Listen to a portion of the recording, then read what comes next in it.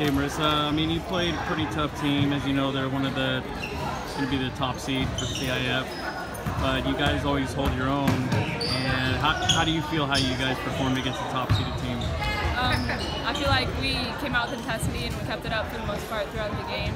Uh, we held on. We got like our goal is to get 50 points. We got almost there. We bettered our score than last time.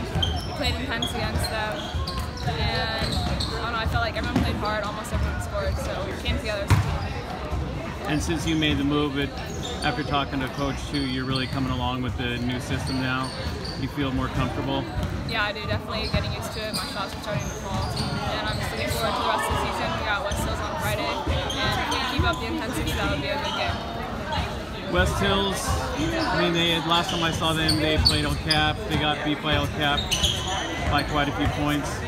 But um, how do you feel competing against West Hills? I feel last time we lost to them by like three. We fell apart. We didn't come together. But now we've been playing intense against Mount Miguel, against Helix. If we keep up that intensity and play together, we should have a good game. I feel like we should come out.